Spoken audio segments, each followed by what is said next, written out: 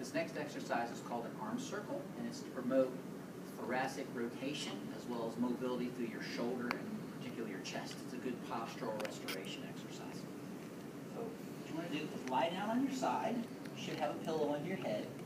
Lie down so that your hips are at least 90 degrees so your low back is rounded. So you don't want them down like this. You got to be up high. You take your arm, it starts at your hip.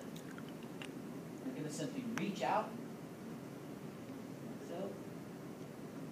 Once you get to here, to about 11 o'clock, now what you're going to do is you're going to turn your body and continue the circle.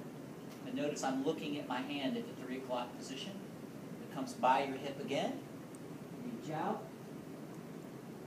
Come around the circle. Key components to look for.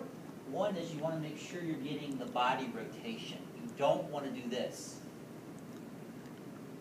That's just an arm, that's just a shoulder circle. That's not what we want. We want to get the rotation of the body.